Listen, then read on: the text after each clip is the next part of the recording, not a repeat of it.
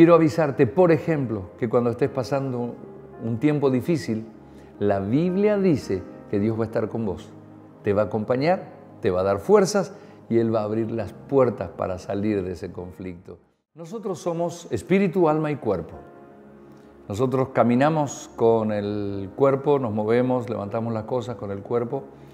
En el alma sentimos las emociones.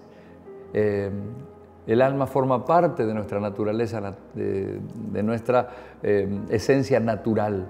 Entonces, eh, nuestra alma está muy vinculada con nuestros pensamientos. Y también el espíritu, somos espíritu, el espíritu está conectado con el cielo, directamente con Dios. Si una persona no nace de nuevo y no camina con Cristo, no puede experimentar lo que es tener el espíritu en movimiento.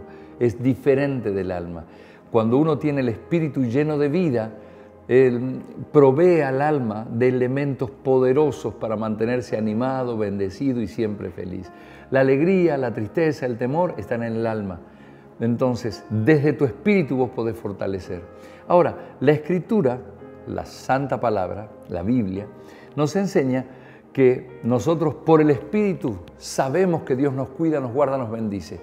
Pero también nos da textos para que nuestro razonamiento le avise a nuestra alma que podemos tener un consuelo muy fuerte en lo que Dios escribió para nosotros.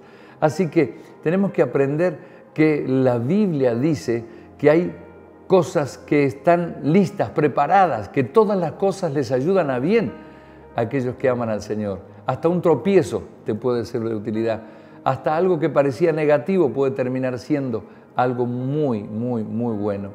Así que quiero avisarte, por ejemplo, que cuando estés pasando un tiempo difícil, la Biblia dice que Dios va a estar con vos. Te va a acompañar, te va a dar fuerzas y Él va a abrir las puertas para salir de ese conflicto.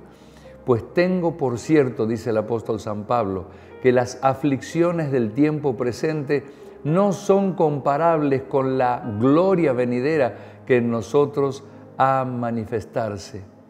Porque el anhelo ardiente de la creación es esperar la manifestación de los hijos de Dios.